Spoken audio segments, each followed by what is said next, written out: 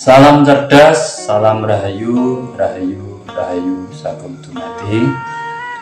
Pertama-tama kita panjatkan puja dan puji syukur kita kepada Tuhan semesta alam yang telah memberi kita keberkahan dan kenikmatan hidup dalam semesta ini.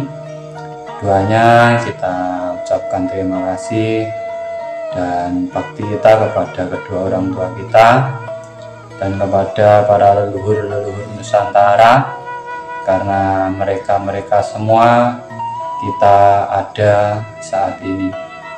Dalam kesempatan kali ini saya Surya Lawu bersama Mas Adit kita akan mengambil tema silsilah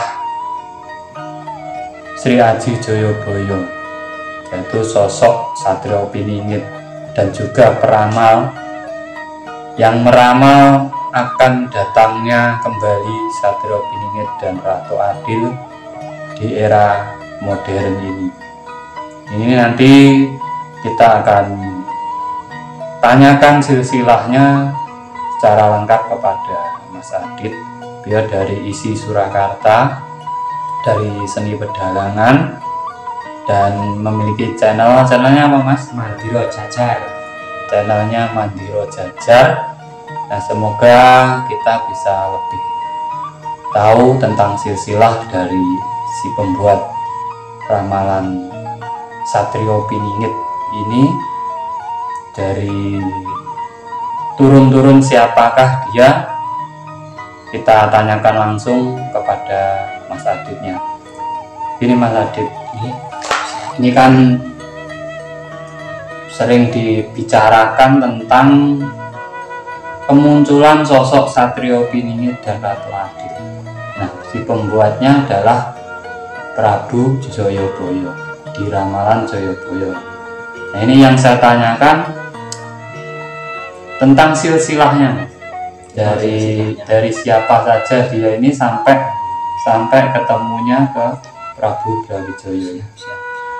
Coba sampai jelasin. Oke ya ini sambil ngopi santai.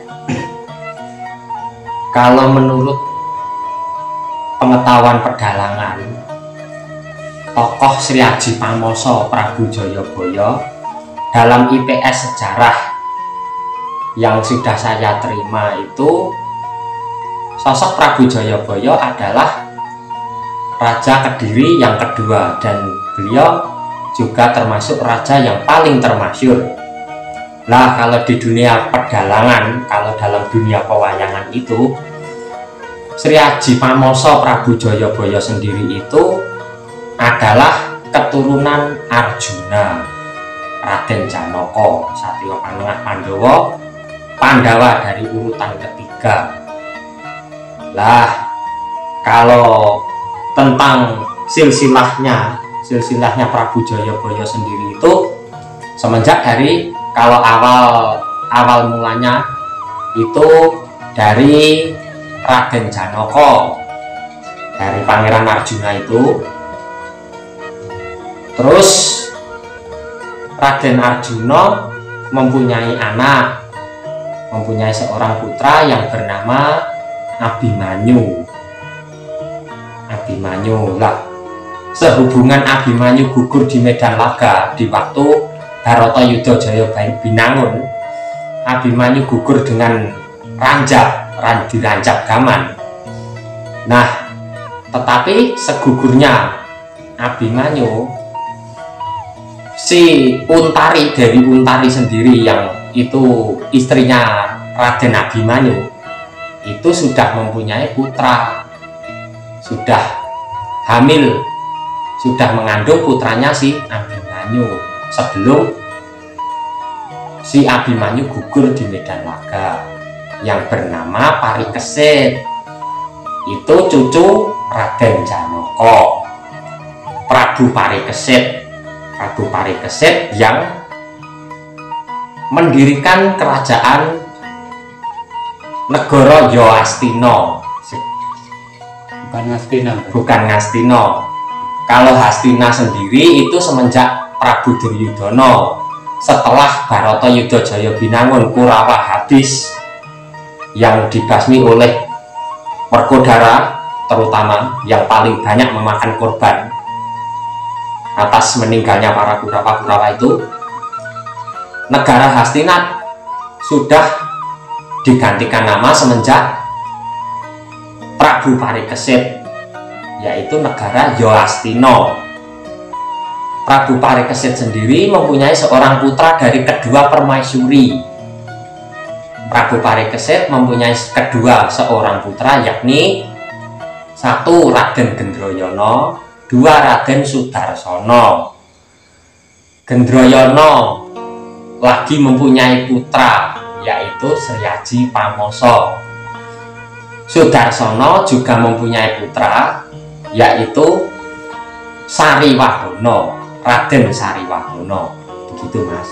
Kalau menurut urutannya, jadi itu kalau dari pertama ya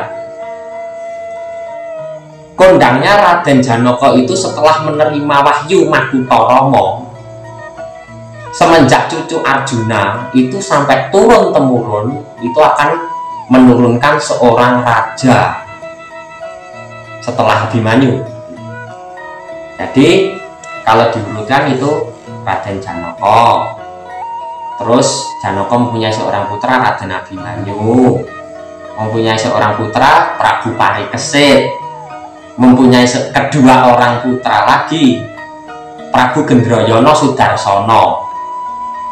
Dua gitu. Terus Gendroyono mempunyai putra Prabu Joyoboyo, Sudarsono mempunyai putra Prabu Sariwagono. Nah, mengapa kok Prabu Joyoboyo sendiri kok tidak mendirikan tidak menduduki tahta di Yoastino? Itu juga ada konflik tertentu mungkin bisa diulas untuk lain waktu. lain waktu. Berarti uh, setelah uh, Prabu Joyoboyo dia punya putra siapa? Jadi raja juga juga juga juga menjadi raja yakni Raden Joyo Amiseno Prabu Joyo Mijoyo yang meneruskan putranya lagi baru Prabu Angling Darmo jadi Prabu Angling Darmo itu sendiri itu cucu dari Prabu Joyoboyo nah kalau setelah Prabu Angling Darmo sendiri itu sudah tidak termasuk serial wayang Madio kan ada wayang Purwo, ada wayang Madyo, ada wayang Gedok gitu kan. Nah, kalau setelah Prabu Angling Darmo sendiri itu sudah cerita Panji, Panji, Panji, bahkan sampai sejarah Tumapel, sejarah Singasari itu sudah kalau di, di dibawakan wayang, dibawakan dalam cerita wayang itu kan kalau kebanyakan yang lebih pas lagi itu untuk cerita ketoprak. Jadi untuk drama uh, drama lokal lah drama lokal. Oh gitu uh, Prabu Joyoboyo ini ada hubungan dengan Majapahit mungkin nanti itu juga keturunannya kan? kalau itu diurutkan kan bisa mas itu. Berarti masih keturunan dari Joyoboyo juga? Iya keturunan. Karena Singhasari sendiri kan juga bekas dari Kediri. Oh, iya. berarti dari dulu raja-raja yang yang pernah Masur dari Nusantara ini ada kenyataannya adalah anak cucu dari Prabu Joyoboyo ataupun dari Pendowo yaitu cucu dari Astina ya dari Arjuna sendiri. Sendiri kalau diurutkan dari Prabu Joyoboyo itu semenjak Raden Janoko itu berarti ini juga uh, ada hubungannya bahwa uh, Satrio Piningit ataupun yang makan menjadi sosok Ratu Adil adalah dari keturunan Majapahit ya. berarti itu juga anak cucunya dia sendiri kan ya. ya. nah ini ini sekilas silsilah dari Prabu Joyoboyo untuk menambah pengetahuan kita semuanya semoga uh, ini berguna ataupun bermanfaat untuk teman-teman semuanya. Dan apabila ada kurang lebihnya saya dan juga Mas Adit mohon maaf yang sebesar-besarnya. Ini hanyalah sebuah pengetahuan pengetahuan dari kami. Mungkin bisa menambah pengetahuan untuk yang lainnya. Nanti kalau ada pesan-pesan ataupun yang kurang berkenan silahkan tulis di kolom komentar. Terima kasih dari saya Surya Lau dan Mas Adit dari isi Surakarta. Semoga kita semua selalu dalam keberkahan Tuhan Yang Maha Kuasa. Salam cerdas salam rahayu rahayu rahayu sagung dumati